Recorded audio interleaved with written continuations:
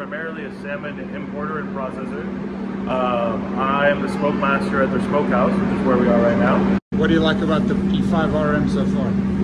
Oh my god, it's it's light years ahead of the machine we're using before.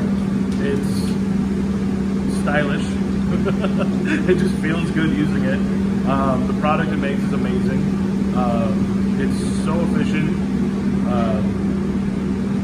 like for the, like once you figure it out, it's really easy to use. It's like it doesn't seem intuitive at first, but then it, eventually it is.